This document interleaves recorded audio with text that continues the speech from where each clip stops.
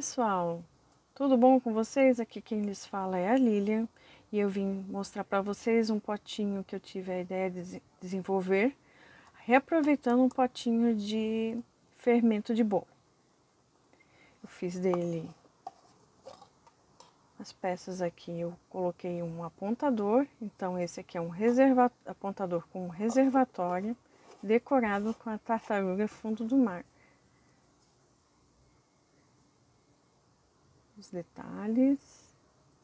O potinho eu utilizei a tinta Supercolor metálica da Tech Bond. Essa é a Rose Gold.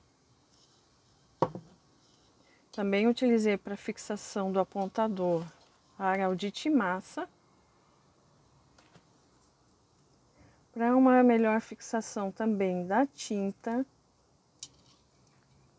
usei o primer Super Color, uso geral da Tech Bond.